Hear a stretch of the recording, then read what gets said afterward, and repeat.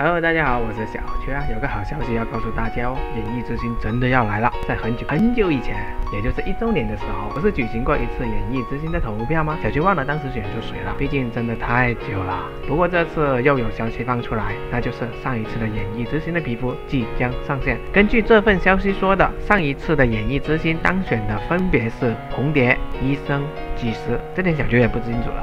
大家可以回想一下，距离投票结束已经过去超过四个月了。那么，按照去年的演艺之星上线的进度，这意味着这些皮肤早就应该制作完成了。那样的话，上线也就是时间的问题。那什么时候上架，就成了一个关键性的问题了。可以肯定的一点是，绝对不可能在普通的日子上线。如果按照现在的节假日走，接下来就是中秋节和国庆节两个节假日。中秋节去年上线了一个调香式蓝皮活动，而国庆节的话，去年小秋刚好退游了，所以没关注。但作为一个七天小长假，活动和皮肤肯定不会少。所以，演艺之星的上线，小秋猜测应该会在这两个时间上线。但根据这个消息所发布的信息来看，而是猜测在中秋节，所以我们还是可以期待一下。反正小秋猜测应该就在这两个时间点之内了。那么问题来了，你的快乐石准备好了吗？